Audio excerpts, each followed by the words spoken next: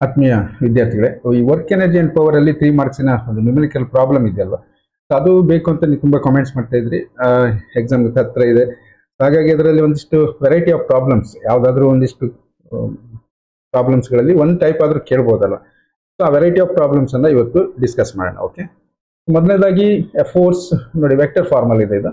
F is equal to five I caps plus six J cap minus four K cap acting on a body produces a displacement s equals to 6 i cap plus 5 k cap.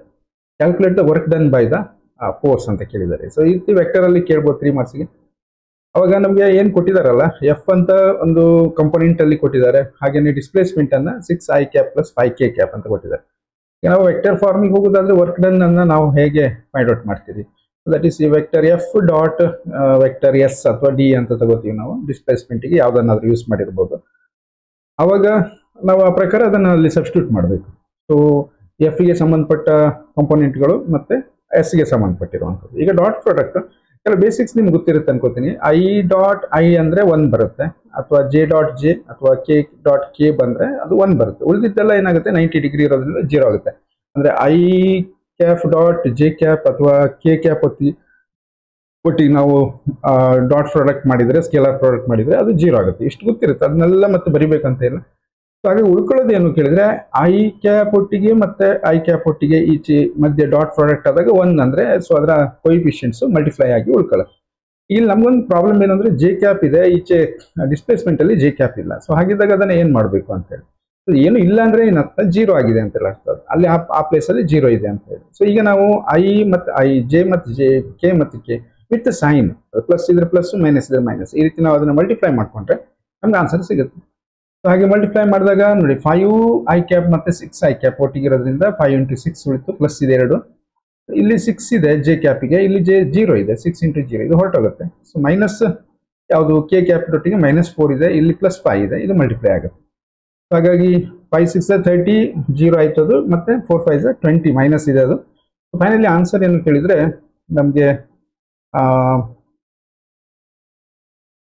Answer ten units ಬರುತ್ತೆ ಅಂತ okay so ಇದು ಇಷ್ಟೇ solution three ಮಾರ್ಕ್ಸ್ಗೆ ಈ ರೀತಿ ಕೇಳ್ಬೋದು ಅಂತ ಈಗ next ಇನ್ನೊಂದು ಪ್ರಾಬ್ಲಮ್ ನೋಡ್ಲಿಕ್ಕೆ ಹೋದ್ರೆ force of four newton is applied on a box of on angle sixty degree ಅಂದರೆ ಸಿಕ್ಸ್ಟಿ ಡಿಗ್ರಿ ಆಂಗಲ್ ಅಲ್ಲಿ ಫೋರ್ಸ್ ಆ್ಯಕ್ಟ್ ಆಗಿದೆ ಒಂದು ಬಾಕ್ಸಿಗೆ ಒಂದು ದಾರ ಕಟ್ಟಿ ಎಳಿತಾ ಇದ್ದಾರೆ ಅಂದ್ಕೊಳ್ಳಿ.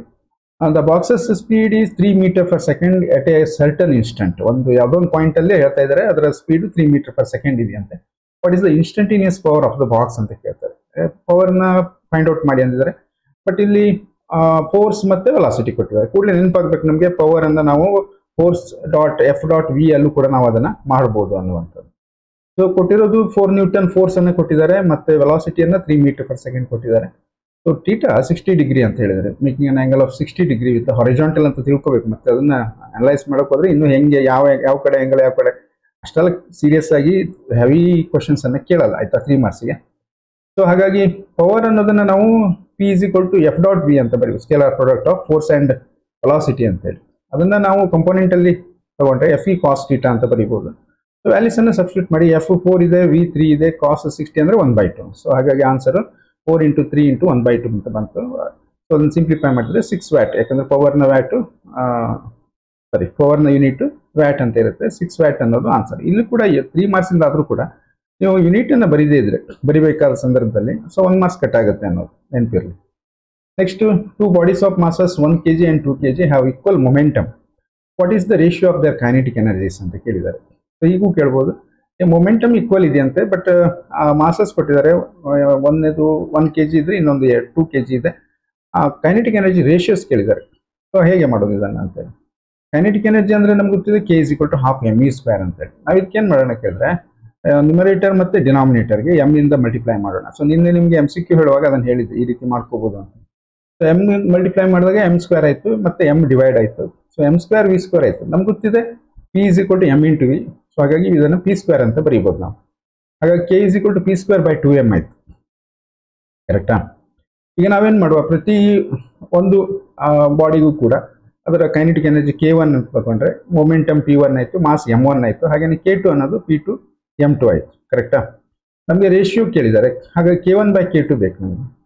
K one by K two ಅಂದಾಗ ಏನಾಯ್ತು ರೇಷಿಯೋ ಅಂದ್ರೆ ನೋಡಿ ಡಿವೈಡ್ ಇರೋದು ಮಲ್ಟಿಪ್ಲೈ ಆಗಿ ಈ ರೀತಿ ಆಗುತ್ತೆ. ಇನ್ವರ್ಸ್ ಆಗುತ್ತೆ, ಅಲ್ವಾ? ಬಟ್ ಇಲ್ಲಿ ಏನು ನಮ್ಗೆ ಏನು ಕೇಳಿದ್ರೆ ಮೊಮೆಂಟಮ್ಸ್ ಸೇಮ್ ಇದೆ ಅಂತ ಹೇಳಿದ್ದಾರೆ. So P one is equal to P two ಅನ್ನಂಗೆ ಆಯಿತು ಸೊ ಪಿ ಒನ್ ಸ್ಕ್ವೇರ್ ಮತ್ತು ಪಿ ಟು ಸ್ಕ್ವೇರ್ ಎರಡು ಸೇಮ್ ಆಯ್ತು, ಅದು ಕ್ಯಾನ್ಸಲ್ ಆಗುತ್ತೆ. ಟೂ ಕ್ಯಾನ್ಸಲ್ ಆಗುತ್ತೆ. ಉಳಿಯೋದೇನು? ಹಾಗಾದ್ರೆ M two by M one ಹಾಗಾದ್ರೆ ಎಂ ಟು ಮತ್ತು ಎಂ ಒನ್ ವ್ಯಾಲ್ಯೂಸ್ ಕೊಟ್ಟಿದ್ದಾರೆ. ಟೂ ಕೆ ಜಿ ಮತ್ತು ಒನ್ ಕೆ ಜಿ ಅಂತೇಳಿ. ಆ ವ್ಯಾಲ್ಯೂಸ್ ಅನ್ನು ಇಲ್ಲಿ ಸಬ್ಸ್ಟ್ಯೂಟ್ ಮಾಡಿದ್ರೆ ನಿಮಗೆ ಆನ್ಸರ್ ಸಿಗುತ್ತೆ. K one by K two ಕೊಟ್ಟು two two by one so ಇದಕ್ಕೆ ಇದು ಡೈರಿವೇಷನ್ ಕಂಪ್ಲೀಟ್ ಆಗುತ್ತೆ. ಈ ಒಂದು ಪ್ರಾಬ್ಲಮ್ ಸಾಲ್ವ್ ಆಗಿರುತ್ತೆ ಅಂತೇಳಿ. Okay next raindrop of mass two gram falling from a height one kilometre if it hits the ground with a speed of sixty metre per second calculate the work done by gravitational force ಅಂತ ಹೇಳ್ತಾರೆ. So ಅದ್ರ ಮೇಲೆ act ಆಗ್ತಿರೋದು gravitational force ಮಾತ್ರ ಅನ್ಕೊಳ್ಳೋಣ. Air resistance ಅನ್ನ ನಾವು neglect ಮಾಡಿದೀವಿ ಅನ್ಕೊಳ್ಳೋಣ. So ಅದರ ವಿಷಯ ಇಲ್ಲಿ ಇಷ್ಟೆಲ್ಲ ಸೀರಿಯಸ್ ಆಗಿಲ್ಲ ಅದು. ಹಾಗಾಗಿ ನಾವು ಈಗ work done by gravitational force ಅಂದಾಗ ನಾವೇನ್ ಮಾಡ್ಬೇಕಾಯ್ತು ಅಂದ್ರೆ what is the gravitational force ಅಂತ ನೋಡ್ಬೇಕಾಯ್ತು. ಒಂದು ಕಿಲೋಮೀಟರ್ ಹೈಟ್ ಅಂತ ಕೊಟ್ಟಿದ್ದಾರೆ. ಜಿ ಚೇಂಜ್ ಆಗ್ಬೋದಲ್ವಾ? ಬಟ್ ಇದು ಗ್ರಾವಿಟಿ ಮೇಲೆ ಕೇಳಿರೋ ಪ್ರಾಬ್ಲಮ್ ಅಲ್ಲ. Work energy and power chapter ಮೇಲೆ ಕೇಳಿರೋದು. ನಮ್ಗೆ ಇನ್ನೊಂದು ಮೆಥಡ್ ಇದೆ. ಏನು ಕೇಳಿದ್ರೆ ವರ್ಕ್ ಡನ್ ಅನ್ನ ಕ್ಯಾಲ್ಕುಲೇಟ್ ಮಾಡ್ಲಿಕ್ಕೆ ನಾವು ಇನ್ನೊಂದು ಯೂಸ್ ಮಾಡ್ಬೋದು method so change in kinetic energy ಅಂತ ಮಾಡ್ಬೋದು. ಹಾಗಾಗಿ ಈ ಡ್ರಾಫು ಫ್ರೀ ಫಾಲ್ ಅಲ್ವಾ? ಫ್ರೀ ಫಾಲ್ ಯಾವಾಗಲೂ ಇನಿಷಿಯಲ್ ವೆಲಾಸಿಟಿ ಜೀರೋ ಇರ್ತದೆ. ಸ್ಟಾರ್ಟಿಂಗ್ ವೆಲಾಸಿಟಿ ಜೀರೋ ನಂತರ due to acceleration velocity increase ಆಗ್ತಾ ಹೋಗುತ್ತೆ. ಫೈನಲ್ ವೆಲಾಸಿಟಿ ಕೊಟ್ಟಿದ್ದಾರೆ ಅವರು. ಅದು ಗ್ರೌಂಡಿಗೆ ಹಿಟ್ ಆಗುವಾಗ ಸಿಕ್ಸ್ಟಿ ಮೀಟರ್ ಪರ್ ಸೆಕೆಂಡ್ ಅಲ್ಲಿ ಬರ್ತಾ ಇತ್ತು ಅಂತ ಹೇಳಿ. ಹಾಗಾಗಿ ನಾವು ಮಾಸನ್ನು ನೋಡ್ಲಿಕ್ಕೆ ಹೋದ್ರೆ ಎಷ್ಟಿದೆ ಅದು? ಟೂ ಗ್ರಾಮ್ ಅಂತ ಕೊಟ್ಟಿದ್ದಾರೆ. ಅದನ್ನ ಎಸ್ ಐಗೆ ಕನ್ವರ್ಟ್ ಮಾಡಿದ್ರೆ ಗ್ರಾಮ್ ಅಂದ್ರೆ thousand gram is equal to one K G ಹಾಗಾಗಿ ಟೆನ್ ಟು ಮೈನಸ್ ತ್ರೀ ಇಂದ ಮಲ್ಟಿಪ್ಲೈ ಮಾಡಬೇಕು. ಇಲ್ಲ ಡಿವೈಡ್ ಬೈ ತೌಸಂಡ್ ಮಾಡೋದು ಒಂದೇ ಮೆಥಡ್ ಯೂಸ್ ಮಾಡಬೇಡಿ. ಅದನ್ನು ಸಿಚುವೇಶನ್ ನೋಡಿ ಕನ್ವೀನಿಯಂಟ್ ನೋಡಿ.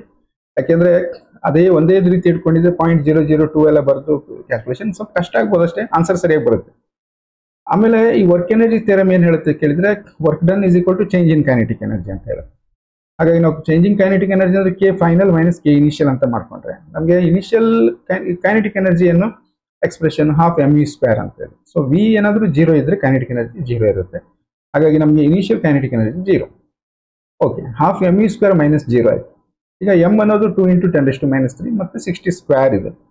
ಸೊ ಇದನ್ನ ಟೂ ಟು ಕ್ಯಾನ್ಸಲ್ ಆಯಿತು. ಸಿಕ್ಸ್ಟಿ ಸ್ಕ್ವೇರ್ ಅಂದ್ರೆ ಸಿಕ್ಸ್ ಸ್ಕ್ವೇರ್ ಅಂದ್ರೆ ತರ್ಟಿ ಸಿಕ್ಸ್ ಜೀರೋ ಅಂದ್ರೆ ಡಬಲ್ ಜೀರೋ ಬರುತ್ತೆ. ತ್ರೀ ಸಿಕ್ಸ್ ಜೀರೋ ಜೀರೋ ಬಂತು ನಮ್ಗೆ answer so three six zero zero into ten to minus three ಇದೆ ನೀವು ಇದನ್ನ ಹೀಗೆ ಬಿಟ್ಟರು ಕರೆಕ್ಟ್ ಆಗಿರುತ್ತೆ. ಇಲ್ಲ ಅಂದರೆ ಏನು ಮಾಡ್ಬೋದು?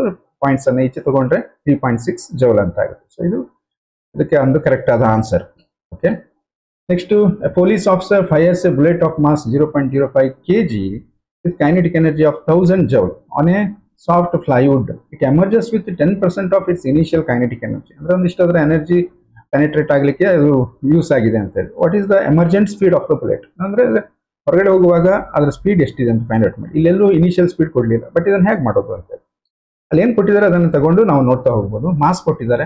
ಇನ್ನು kinetic energy initial kinetic energy ಕೊಟ್ಟಿದ್ದಾರೆ. ಮತ್ತೆ ಫೈನಲ್ ಕೈನೆಟಿಕ್ ಎನರ್ಜಿ ಕೊಡದೇ ಇದ್ರೂ ಕೂಡ ಅದು ಇರೋದು ಎಷ್ಟಂತೆ? Ten percent of its initial kinetic energy ಅಂತ ಹೇಳಿದ್ದಾರೆ. ಸೊ ಹಾಗಾಗಿ initial kinetic energy thousand joule ಅಂತ ತಗೊಳ್ಳೋಣ ನಾವು. ಕೊಟ್ಟಿದ್ದಾರೆ. ಈಗ ಫೈನಲ್ ಕೈನೆಟಿಕ್ ಎನರ್ಜಿ ಏನಾಗಿದೆ? Ten percent of the initial kinetic energy ಅಲ್ವಾ? So ten percent of the K I ಅಂದಾಗ ಕೆ ಐ ತೌಸಂಡ್ ಇದೆ. ಏನಾಯ್ತು ಅವಾಗ? ಟೆನ್ ಪರ್ಸೆಂಟ್ ಆಫ್ ತೌಸಂಡ್ ಆಯ್ತು. ಸೊ ಇದನ್ನು ನಾವು ಟೆನ್ ಡಿವೈಡ್ ಬೈ ಹಂಡ್ರೆಡ್ ಯಾಕಂದ್ರೆ ಟೆನ್ ಪರ್ಸೆಂಟ್ ಅಂದ್ರೆ ಹಾಗೆ ಎಲ್ಲ ಮಾಡೋದು. Ten divide by hundred into thousand ಮಾಡಿದ್ವಿ ಸೊ ಅವಾಗ ಏನಾಯ್ತು ಕೇಳಿದ್ರೆ ನಮಗೆ ಜೀರೋ ಜೀರೋ ಕ್ಯಾನ್ಸಲ್ ಆಯಿತು. ಟೆನ್ ಇಂಟು ಟೆನ್ ಅಂದ್ರೆ hundred joule final kinetic energy ಅಂತ ಗೊತ್ತಾಯ್ತು ನಾವು okay so final kinetic energy expression kinetic energy expression ಏನು ಚೇಂಜ್ ಆಗಲ್ಲ. Half M V F square ಅಂತ ಬರುತ್ತೆ. ಸೊ ಹಾಗಾಗಿ ಮಾಸ್ ಕೊಟ್ಟಿದ್ದಾರೆ. ನಮಗೆ final kinetic energy find out ಮಾಡ್ಕೊಂಡಿದ್ವಿ ಸೊ ವಿ ಎಫ್ ಅನ್ನ ನಾವು ಫೈಂಡ್ ಔಟ್ ಮಾಡಬೇಕು. ಹಾಗಾಗಿ V F square is equal to two times K F divide by M ಅಂತ ಗೊತ್ತೆ ವ್ಯಾಲ್ಯೂಸ್ ಅನ್ನು ಸಬ್ಸ್ಟಿಟ್ಯೂಟ್ ಮಾಡಿ two into hundred divide by zero point zero five calculate ತಗೊಂಡು ಮಾಡಿ, ಪರವಾಗಿಲ್ಲ. ಇಲ್ಲಾಂದ್ರೆ ಇದು five into ten to minus two ಆಗುತ್ತೆ twenty into twenty forty into ten to plus two four thousand ಆಗುತ್ತಲ್ವಾ so ಹಾಗಾಗಿ V F square is equal to four thousand ಆಯಿತು. But ನಮಗೆ V F ಬೇಕು. ಇದನ್ನು ಕ್ಯಾಲ್ಕುಲೇಟ್ ತಗೊಂಡು ರೂಟ್ ಮಾಡಿ.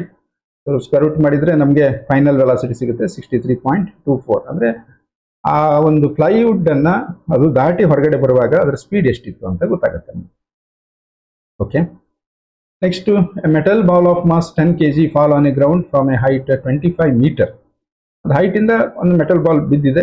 Calculate its kinetic energy when it just touches the ground ಅಂದರೆ touch ಆದ್ಮೇಲೆ bounce ಆಗುತ್ತೋ ಅಥವಾ ಅಲ್ಲಿ ಪೆನೆಟ್ರೇಟ್ ಆಗುತ್ತೋ ಏನೋ ಆಗುತ್ತೋ ಅದನ್ನು ಕೇಳಿಲ್ಲ ಅವರು. ಜಸ್ಟ್ ಟಚ್ ಆಗುವಾಗ ಅಂದ್ರೆ ಫೈನಲ್ ವೆಲಾಸಿಟಿ ಆಯ್ತಲ್ಲ calculate its kinetic energy when it just touches the ground so ನಮಗೆ ಫೈನಲ್ ವೆಲಾಸಿಟಿ ಬೇಕು ಇದರಲ್ಲಿ.